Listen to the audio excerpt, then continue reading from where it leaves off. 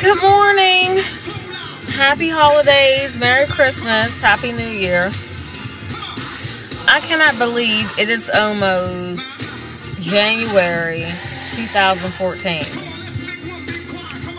It's almost like, wow, God, can you help me?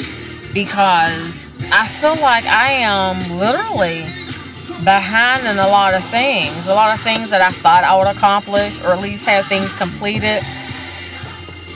They're not, and it's a bummer, you know. So I need God to strategically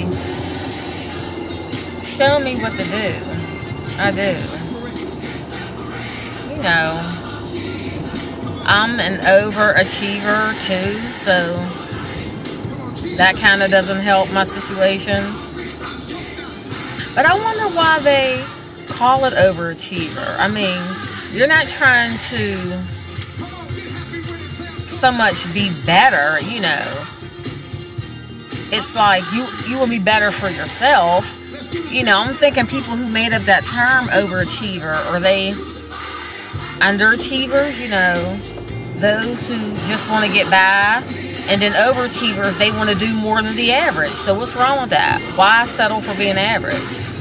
You know, average people aren't really successful unless, you know, God blesses them with favor or, you know, how some people in the world would say luck. You know, so I don't get these terms that, you know, been made up or invented to label people or whatever. But that's neither here nor there. You know. Um, this is so funny. I'm doing this video and driving, and I'm having a fashion crisis. I'm like, oh, I should put on my red belt. I know.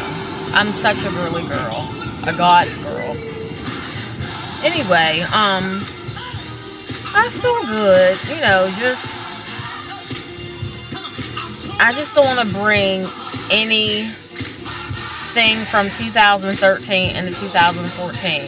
Even like my relationships, you know, with some of my girlfriends. You know, um, some of them that, you know, reach out when they feel like it. Nobody's that busy.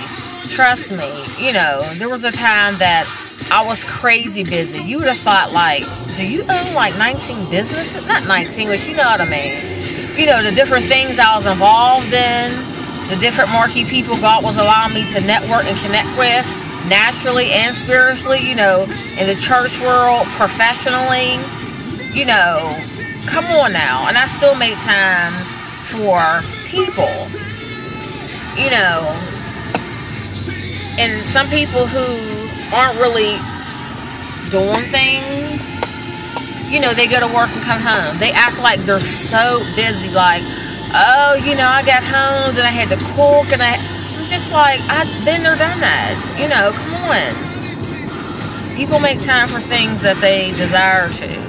And I'm just, you know, it's unfortunate, but it feels good when you're living for yourself, honey. It does. Alrighty, have a good morning. Thanks for watching, everybody. Bye-bye.